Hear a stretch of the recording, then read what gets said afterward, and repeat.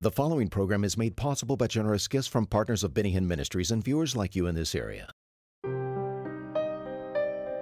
For where two or three are gathered together in my name, I am there in the midst of them.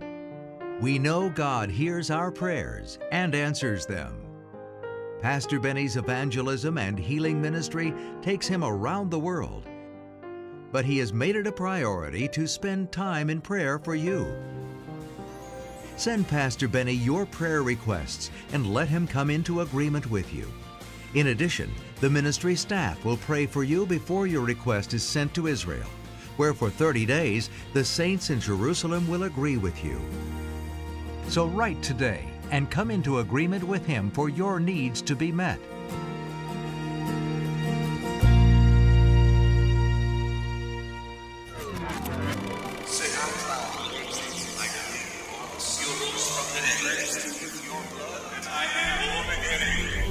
Pastor Benny Hinn is urgently preaching the gospel to the lost because the world's only hope is salvation through God's only Son, Jesus Christ. The gift of God is life eternal. This is your day to join Benny Hinn in proclaiming Jesus as Savior and Healer. And to Jesus be all the praise and the glory. Listen, you're going to love this program today because Myles Munroe is with me here from the Bahamas. And every time he's on the program, our phones just ring off the hook. And Thank I you. am so It's good to be back. Listen, Praise this is heaven here. Welcome to I the mean, Bahamas. beautiful. I keep telling people God lives in the Bahamas, but they have to come and see it. And Last night we were at the church. I was Yes. preaching at the church, uh, Pastor Myles, and uh, the Prime Minister came last night. Yes. I'm amazed by the fact that he is such a strong Christian. isn't that amazing? Yeah. And And his testimony is so strong. the influence God has given you is really remarkable. Thank you. In this country, he is Mr. Ambassador now. Thank you. Congratulations. Thank well, you. didn't they didn't they just uh, give you that office, Yes, right? yes. So you are officially. ambassador at large. That means everywhere I go in the world, I got to represent my country and my government. So, Mr. Ambassador. thank you, sir. I love it. Thank you We're going to talk about the kingdom because nobody explains and really can, can minister to us about the kingdom of God like Pastor Myles Munroe. Now, you've, you've written some amazing books, actually three of them, I think, or more. Yes. Uh, This is the first one here that we wrote. It's Rediscovering the Kingdom. Rediscovering the Kingdom, yeah. May I ask you, before I ask you any, any question, why did God give you this tremendous truth? I mean, there's a whole lot of preachers out there that don't preach that. Yeah. I think it's because of where he had me conceived. And you know In what? the That has a lot to do with it. Yeah. Uh, he also made sure that I was able to experience both sides of the human drama. And that is, I was born in a kingdom, 1954, and then we became independent as a nation, which means I So you also experienced democracy. yeah. And that unique experience prepared me to understand scripturally in an experiential way Yeah. what is the difference between a kingdom and a democracy? Uh, Pastor Benny, one of the things that's very interesting is that most of our theologians that have produced a lot of our work were never born in a kingdom. So they don't have the experience of the biblical concepts of kingdom. So much of our theology was written by people who never experienced kingdom life, and the Bible is about a king You know, ever kingdom. since ever since I've heard you, I have had to readjust my mentality about the Bible. Yes. Because now when I read the Bible, I'm thinking king, Kingdom. kingdom. Yes. And boy, it just puts a new light on it. We got about 30,000 letters and emails in a one week when people heard just a little bit about the kingdom. Uh-huh. And most of those are from pastors, they are from people who are Bible teachers. And they say, You have caused us to go back and re examine the Bible. Could we talk about the concept of the kingdom? What do you mean by that in your book? You know, in this book, Yeah. I introduced a book talking about ideas because ideas control everything. Everything we see around us used to be an idea. This shirt that we wear used to be an idea in someone's mind. The shoes on our feet used to be an idea. These cameras used to be an idea. Uh, everything that we see, our houses used to be an idea. Ideas not only control the world, but the world is run by dead men's ideas. Wow. Oh, yeah, how right. Aristotle, Socrates, Plato, right. they created democracy as an idea. Right. And so they ruled the world from their grave. Well, the concept that a person has determines how they see life. The Bible has a different concept than what we have been preaching and teaching. For example, kingdom concept is opposite to democracy con- concept. Uh, so if your concepts are wrong, your conclusions will be wrong. If your conclusions are wrong, your theology is wrong. Okay, now explain that. Explain the concept of a kingdom. Yes. A kingdom concept is the idea that God invented. God was the first king. Matter of fact, the Bible says he's the king of glory. The Bible calls him the ancient king, which means the oldest one that is in existence. I love it. And he produced the idea when he first created the heavens and the earth. He's called the king of glory, which is an invisible country, heaven. Wow. Then he wanted to extend his Wow. kingdom beyond heaven, so he created a physical universe. And he created the, the, the heavens and the earth so he could extend his kingdom. All kingdoms want to expand. And that's why kingdom concept is so critical.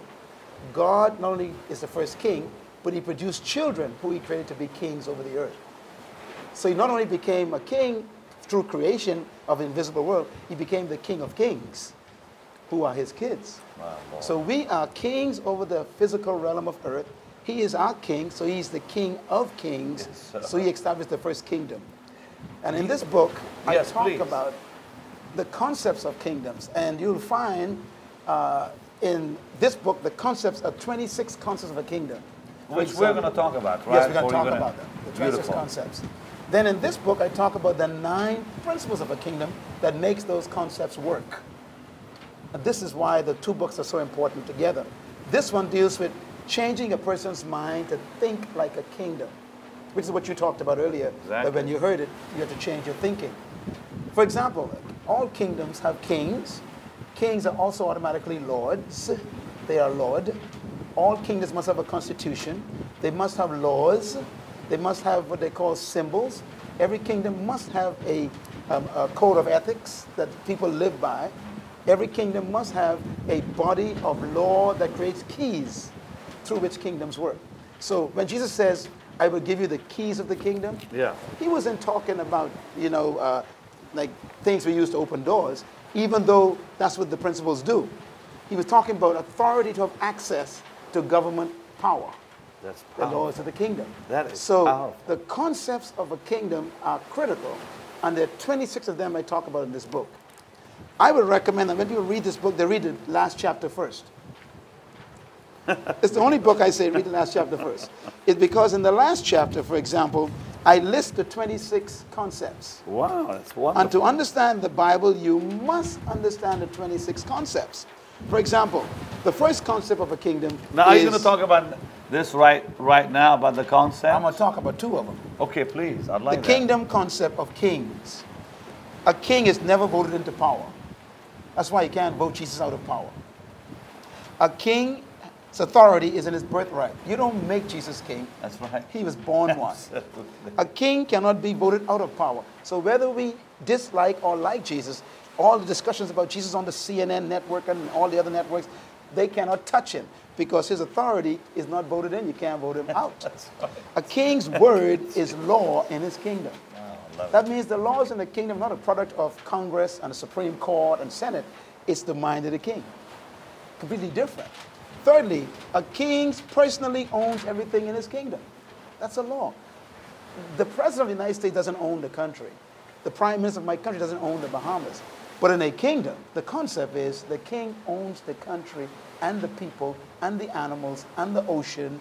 He owns everything. You know, can we on the program tomorrow talk about all of these concepts? Absolutely. And on this one, I want to ask you some questions.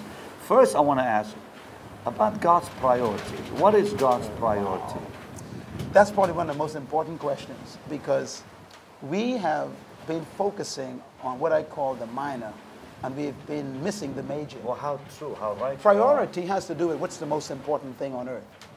And Jesus stated God's priority. Listen, precious people, this is powerful. It's found in Matthew chapter 6. He began, first of all, by telling us what is not our priority, which we've made our priority.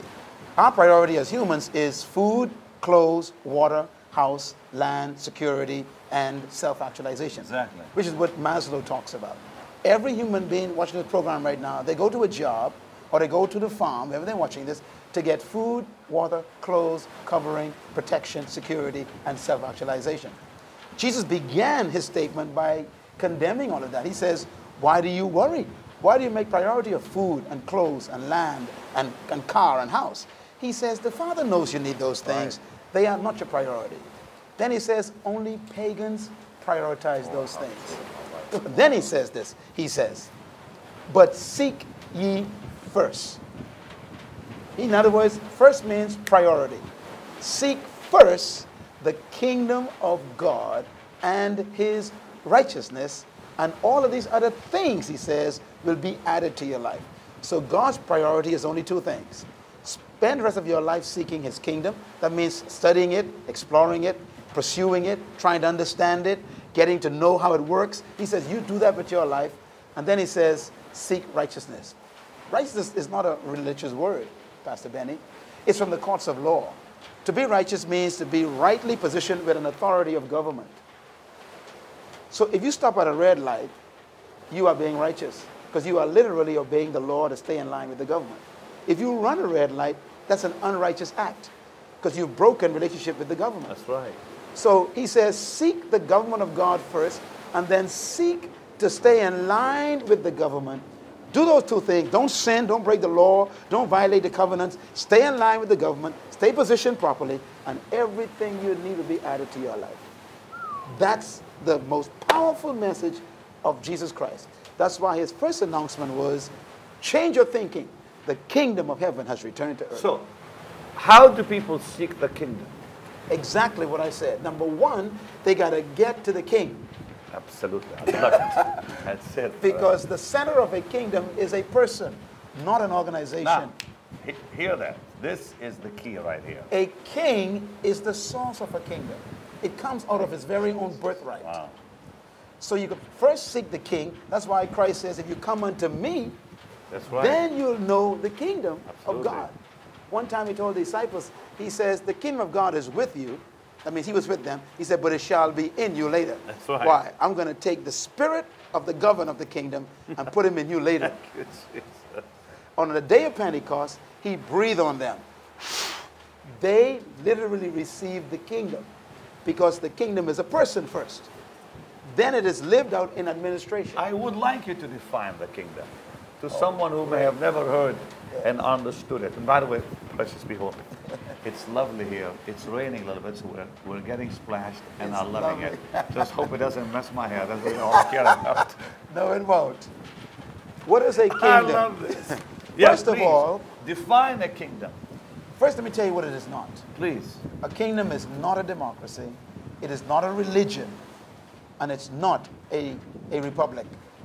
A kingdom is a governing influence of a king over his territory, impacting it with his will, his purpose, and his intent, producing a citizenry of people who express his culture and reflect his nature. Wait, wait, wait, wait. One more time. This is too heavy. This is powerful and wealthy. One more time. Listen carefully. Uh, This is awesome, really. First, a kingdom is not a religion. I got to say that because we have reduced the Bible to a religion. Exactly. A kingdom is not a religion. Secondly, it's not a democracy. So if you're born in the Western world, when you pick up the Bible, the Bible is in danger because you are going to superimpose your cultural experiences on the book, and the book is not a democracy. Secondly, it is not a republic. That means there's no president in a kingdom. You, you, you don't vote a president into power. A kingdom is, and I was born in one, a kingdom is the governing influence of a king over his territory, impacting it with his will, My God. his purpose, and his intention. Listen. Producing- will in, That's right. and purpose and, and intent. intention. In other words, a kingdom is affected by the mind of the king, not legislation of a group of people. That's why Jesus said, Thy will be done. Thy kingdom come, thy will be done. A kingdom is impacted by the personal will of the king. What the king desires, what the king manifests, kingdom manifests. It produces a citizenry. That means people who reflect the culture of the king and manifest the nature of the king. Now, I want to talk to you about that. Very important. Nature.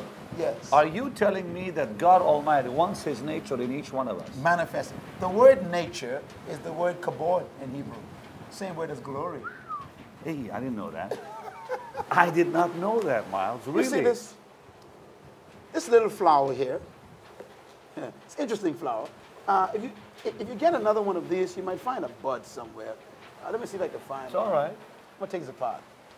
If, you, if this flower was a bud, it would be a green hard ball. Right. But this flower would be inside that ball. Correct. Would you agree? Yeah, absolutely. So the real glory of that, that bulb, the, the bud, would be the flower open. So this is the glory means the full expression of a thing. It means the weight, the full weight of something. Kabod. So God wants to fill the earth with his full nature. The glory Jesus. of God was put in Adam. Image means nature. Adam lost that nature when he disobeyed God. So the glory has been smothered by our rebellion. That's why all of the planet is waiting for the glory of the manifestation of the sons of God. The plant knew what Adam used to look like. This, ah. the animals are weeping. They're saying, Why can't we see the true nature of God? Because the nature of God was covered up by the sin of man. That's why Jesus said, I came to reveal the glory of God. And then he says, May the earth be filled with the glory, the nature of God. People need to look at us and My see what heaven is like just by our lifestyle, our attitudes, our cultural response, our disposition. Now, culture, everything. you said culture, that even the culture of God. Talk about that. This is amazing. You know, we can talk about that when we get to My this, this other book because that's what it's all about. Please, I want to hear this. Religion produces a system. A kingdom produces a culture.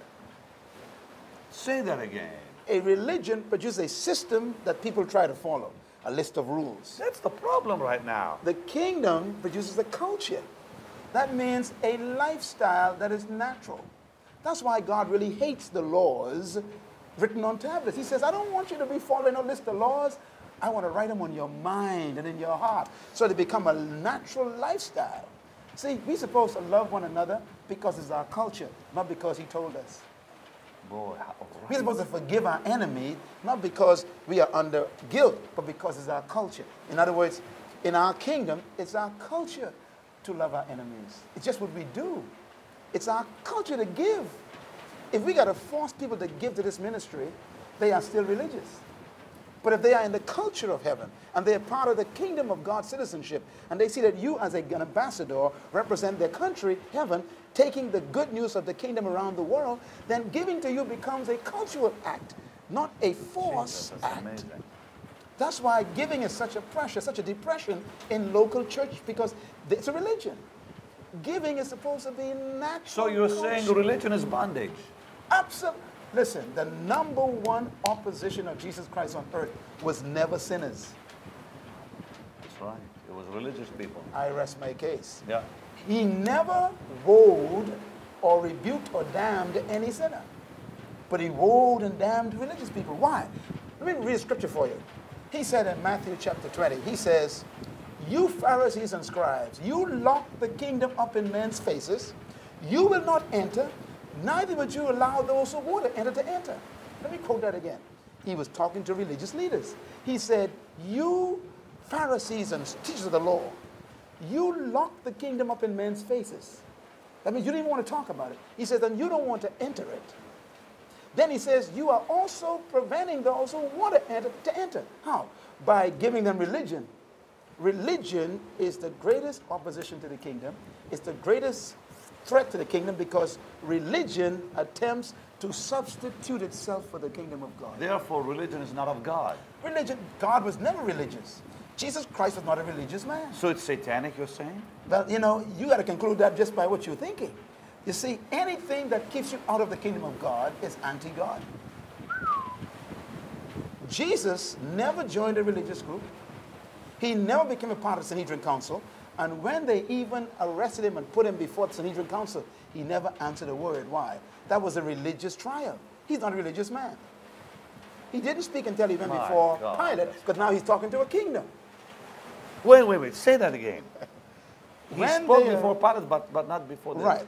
When they arrested him, the religious leaders arrested Jesus. Yeah, They put him on trial that night. Correct. He didn't answer them. Why? that's right. Wrong courtroom. He's a king. He's not a priest. But He's not he a religious answered leader. Pilate, though. He went before the, the, the kingdom, and then he could now talk. Oh, my Lord. So when Pilate asked him, I "Are gotta, you a king?" Brother, I got to stand up and give a little praise here. But So this Pilate is asked amazing. Him, Pilate asked him a question, Benny. He says, "Are you a king?" Jesus says, "Ah, I can talk now." He Whoa, says, whoa, whoa, "He says, whoa, he says, whoa, not only am I a whoa, whoa. king, for this reason was I born." He says, and he says, "My kingdom didn't come from the earth. It came to the earth, but it's not from the earth." It's interesting that the high priest Caiaphas had to adjure him by God Absolutely. to speak, and only then did he answer him. Absolutely. While the whole time he was quiet.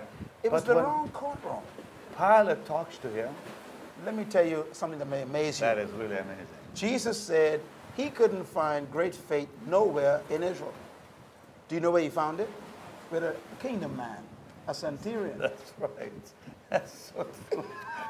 Who said, Lord, just speak the word. Roman. He was a Roman. That's right. Why? He was thinking kingdom. See, in a religion, you got to appease your gods by giving them gifts. Man, this in is a awesome. kingdom, you demand things because you are a citizen.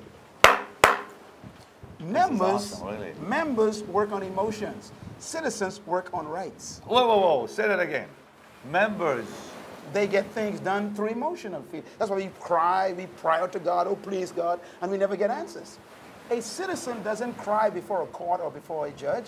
They make demands based on a constitution.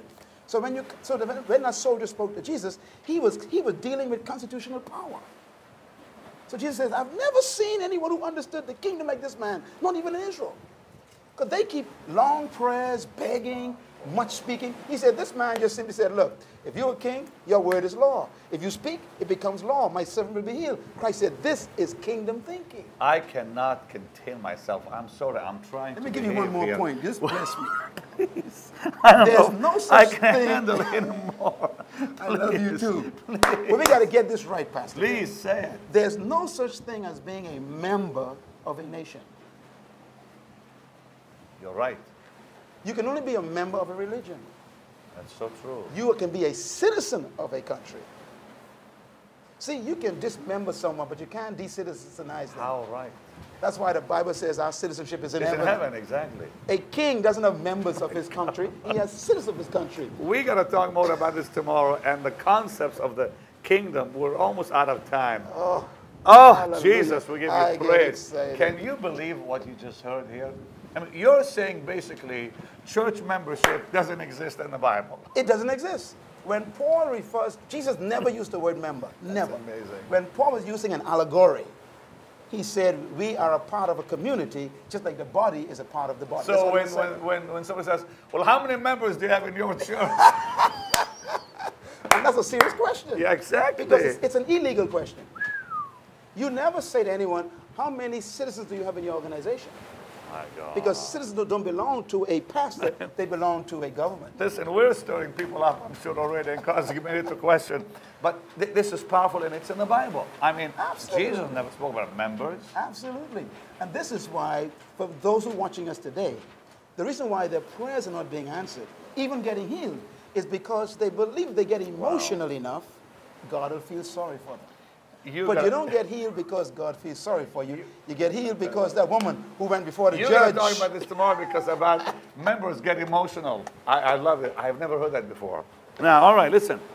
these two. Tell me about all these incredible books you this have. is the first one everybody should get. It's called Rediscovering Rediscover. the Kingdom. Okay, great. This one teaches you about the 26 concepts of a kingdom. Everyone should read this book to, re, to reconnect to a kingdom mindset.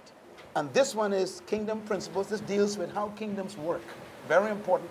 And I want to say to your, your viewers today that the publishing company and myself, we are going to give 1,200 copies of each one of these books to anyone who calls in right now and they commit a gift of $100 or more to help you win those millions of souls. Jesus, thank if you, you Lord. call in right now to the Benny Hinn program and say, Pastor Benny, I'm going to give $100 or more to help you win souls, we will send you one of these books as a gift an appreciation back to you. And listen, we got 1,200 of them. Now, if you send 200 or more dollars, you can get both books. This will be the gift from Benny Hinn Ministry to you on Pastor Myles and the publishing company. We want you to know that the kingdom of God deserves to be spoken to all the world. Amen, amen, amen. Tomorrow, don't miss the program with Myles Munroe as we keep talking about kingdom principles and a whole lot more. Yes. Love you. And now remember, nothing is impossible with God. Bye bye. We believe that the gospel of Jesus Christ is the answer to humanity and the troubles on this earth. The gospel, the gospel, and only the gospel is the solution. Pastor Benny Hinn is passionate about reaching the lost by obeying the mandate for all believers to go into all the world and preach the gospel. I'm talking about souls. Save my soul. men and women around the world who have not heard the gospel. It's our duty, our privilege, Son of God. our responsibility to tell them. Who else will? Nobody will. You can help touch millions around the world as you catch Pastor Benny's vision to use every available resource and opportunity to reach the lost. How can we preach the gospel without support?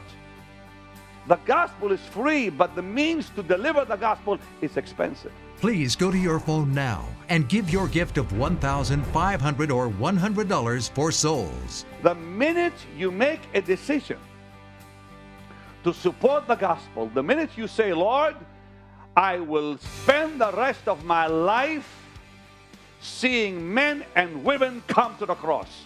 When you make that decision, God Almighty will bless everything you do in life. Call now or give online. And for your generous gift of $100 or more, Pastor Benny will send you your choice of Myles Munroe's informative and fascinating books, Rediscovering the Kingdom and Kingdom Principles. You can receive both volumes for a gift of $200 or more. These resources will build your faith as you invest in souls around the world. Thank you for catching Pastor Benny's vision and sharing his passion to see the lost saved. Jesus came to give his life for men and women.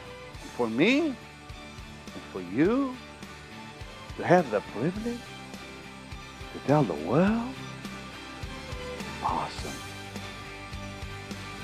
Thanks for watching the program today. I pray you were blessed. And I want to talk to you, those of you that have never contacted our ministry, you've been watching the programs, or maybe you've been to our meetings but have never yet contacted the ministry. I have a free gift for you. And all you have to do today is simply write our ministry or go online. Benny Post Office Box 16, 2000, Irving, Texas, or simply bennyhinn.org. And what I want to send you are the promises of God from Scripture. We have God's promises for victorious living or God's promises for healing. Make sure to get these today. They're free, and all you have to do is simply write us or go online.